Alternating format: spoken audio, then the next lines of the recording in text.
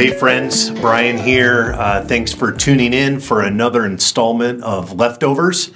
Our, our goal with this little mini series uh, throughout each midweek is just to grab a few nuggets that didn't make their way into the message uh, the previous week, and then to go just a tiny bit deeper into any given topic that we're talking about. So, thanks for tuning in. Um, this morning, uh, I, I, told you this last week that this morning we would talk a little bit more about um, healing and anointing with oil. Uh, as you remember from this last week's uh, message, we, we really unpacked kind of a theology on healing and then gave some nuggets on uh, how to proceed in praying for someone that you want to pray over uh, them for healing. And one of those uh, points was whenever possible, uh, pray in person, lay hands, and anoint with oil when appropriate. Uh, now, what do I mean by that? Well, uh, sometimes you can't be with someone, obviously, so you can pray for them from afar for healing.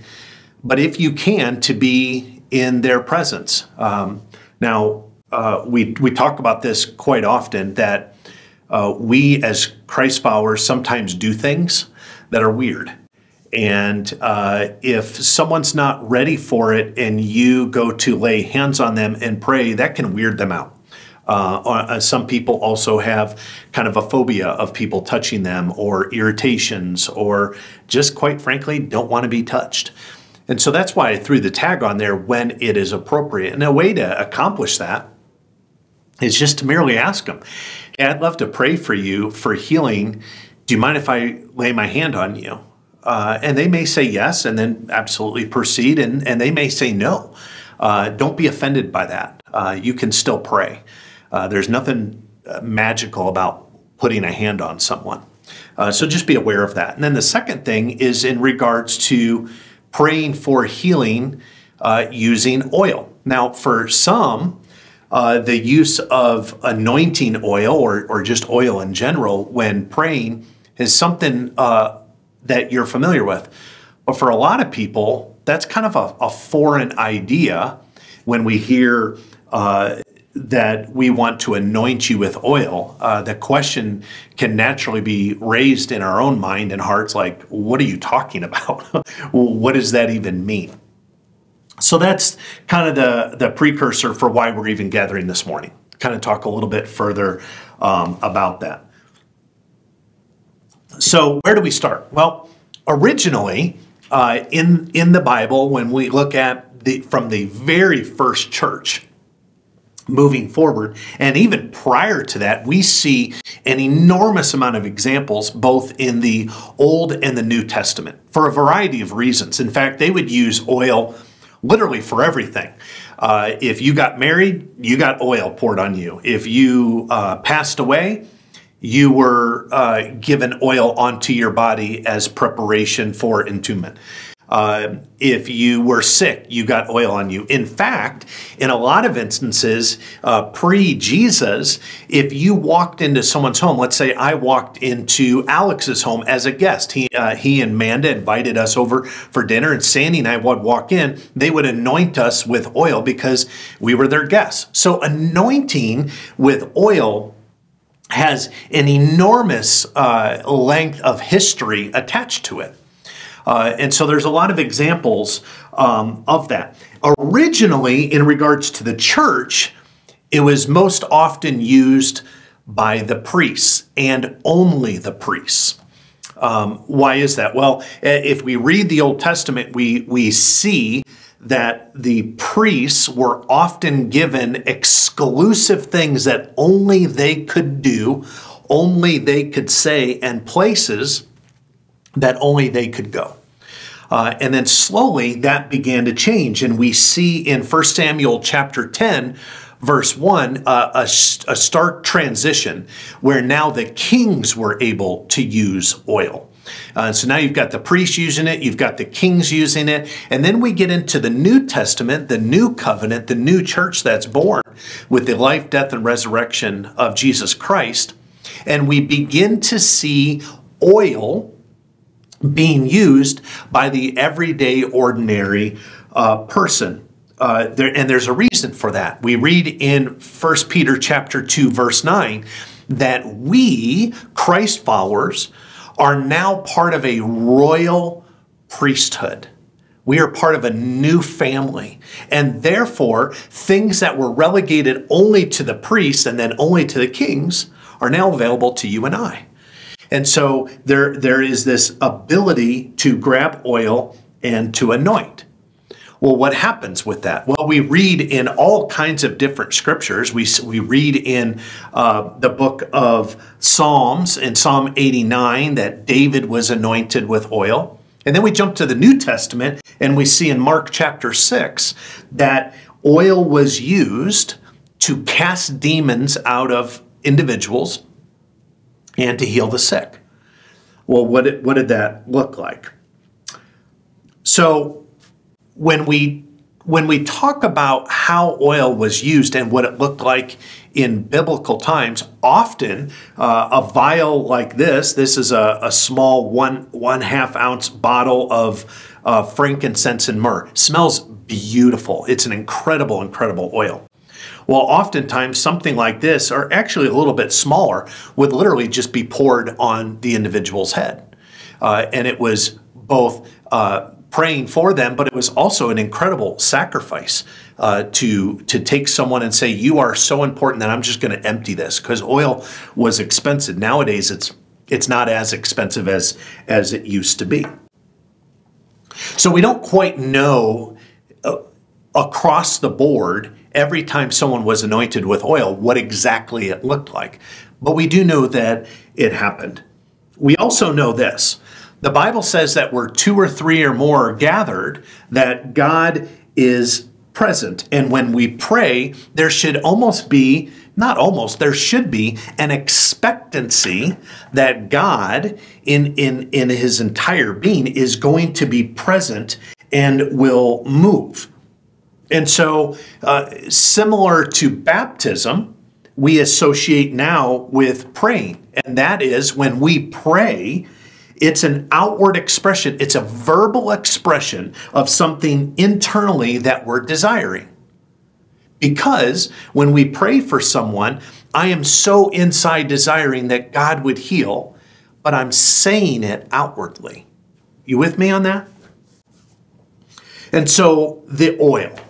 Why, why even anoint with oil? Well, back in the early church, what they would do is they would take oil, and eventually, in the course of church history, it came to where you would just put a dab of oil on your finger, and you would grab the forehead and you would put it in the form of a cross.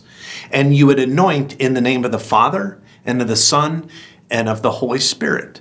And that oil would be placed on the individual's head and it was symbolic of the Holy Spirit's work in that moment. That's an important point because the early church oil and our oil today, there's nothing special about it. Sometimes, or, or, and we'll get to this, the individual praying. But there's nothing special about the oil. There's nothing special about it then. There's nothing special about it now. The specialness, specialness only comes through the power and the presence of God in that moment to pray. So, when we anoint with oil back in the day, they didn't have keyboards. Uh, they didn't have emojis. They didn't have punctuations. They had just what they would say. Well, anointing with oil and praying over the individual was almost like putting an exclamation point on the end of your prayer. It was saying, please heal this individual. And I anoint them to almost say, please heal them. It was an exclamation point. The second area of interest when, when one would get anointed with oil is the fragrant smell would linger with that individual, and it still does today, for a long period of time, long after they've been prayed for. Why is that important? Because it reminds the individual who has just been prayed for for their healing that the Holy Spirit is at work. Every time that individual would smell the fragrance, they would smell the cinnamon, They would smell the frankincense. They would smell that oil. It would remind them God is working. Not a definitive, hey, I smell this, therefore I am healed, but merely a reminder. That's an important point because so often we can be prayed for or we can enter into a, a time of devotion in the morning and life gets busy, it goes on, and we forget. The smell of the oil reminds us to keep our eyes on Jesus, that He is the one who heals. He is the one that knows our bodies more intricately than any specialist, surgeon, doctor on this planet. The Bible says He knit our bodies together and wrote our stories and placed us in our mother's womb. So we're literally going before the great surgeon, the great physician that knows our bodies and knows what we need for our complete healing long before it's even asked for. So that's just a little bit of insight into why we anoint. And so moving forward here at Legacy Church, we will on a regular basis allow you to, not allow you, that's a wrong word. We will invite you and implore you to come forward to not only be prayed for and to lay hands on you, but to anoint you with oil. And it has nothing to do with who prays for you. It doesn't matter if it's me, it doesn't matter if it's Alex, it doesn't matter if it's Debbie or Alicia or someone else who we bring up. The issue isn't the one who is praying, and the issue isn't the oil that's used. The issue is the majesty and the divinity of our great God and King, whom we are going forward and approaching his throne and asking for mercy. So, a little bit of an, uh, of an insight. If you want to do a little bit more research on your own, there are several areas all throughout the Old and New Testament to dig a little bit more into this idea of anointing. And again, as a reminder, our focus and, and we see this in Exodus chapter 30, is the idea of Kadesh, to be set apart, to be holy, so that God can do his work. So when we anoint, we're just setting apart this individual and praying.